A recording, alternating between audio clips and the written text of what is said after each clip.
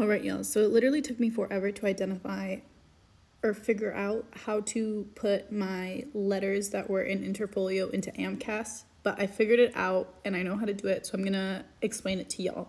Okay, so when you go to your AMCAS application, there is a specific section for your letters of evaluation. And when you get to that particular section, you're going to go ahead and click Add a Letter Request. Once in your add letter request, you can select the letter type, so whether that's a committee letter, a letter packet, or individual letter.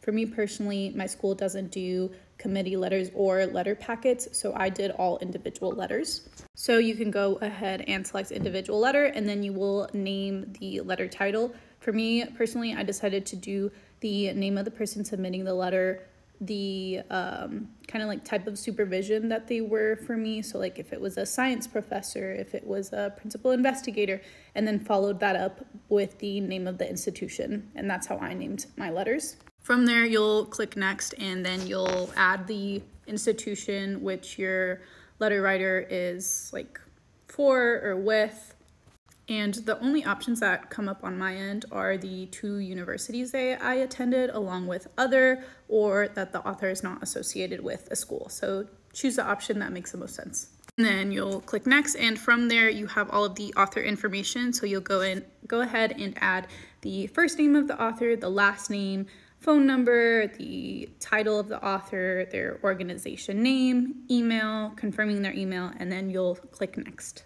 Once you have done that, AMCAS will generate a request ID, which I believe is like a certain digit and no, it's a certain letter and number code that is associated with the letter.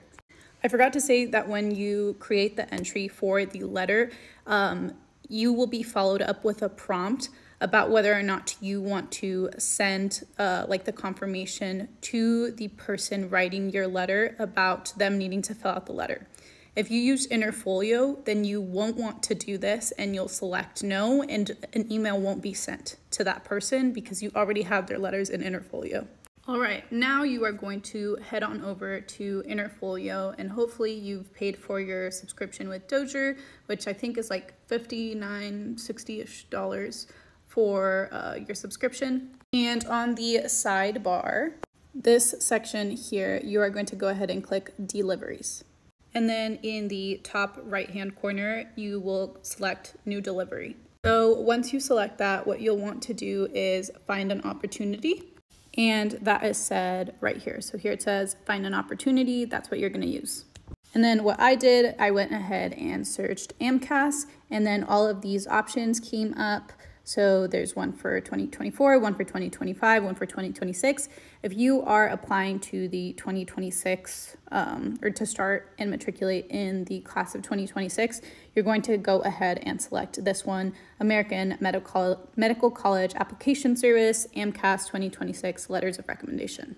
Once that is done, it'll prompt you to start an application. So you'll go ahead and select start an application. From there, you should be seeing this as an option. So you'll go ahead and select add documents. After you select add documents, all of the files and documents and letters of rec that you've hopefully already collected will show up in there.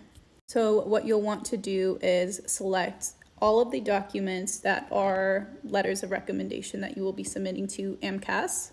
So once you've added all of the documents, you will go ahead and select next and then after that you will select continue.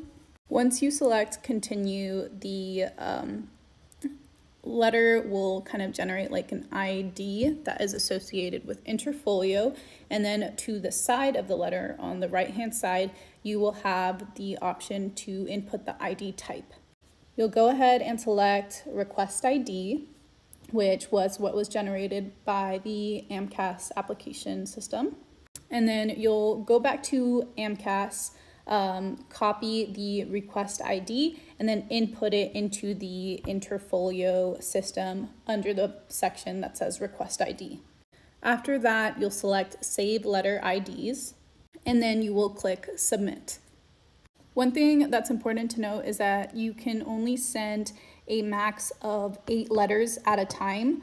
And in AMCAS, you can only have a maximum of 10 letters total. So if you have 10 letters total, then you would have to make two separate deliveries in Interfolio, one with eight and one with two, or one with five and another one with five. And it might take a little while for um, like these to process in the system of AMCAS. So you should get a confirmation email from Interfolio saying that the letters have been sent. And for me, I did this at kind of like, I think like five days ago, May 5th. And today I uh, received a confirmation email from AMCAS, and it basically says that the um, letter of evaluation request has been successfully fulfilled. So I went to go check on AMCAS to see if it looks like it's good to go, if it's been delivered. And this is what the letter request status says. It says that the request was fulfilled today. And it says this for all of my letters, which means that you're good to go. Your letters of recommendation have been received by AMCAS.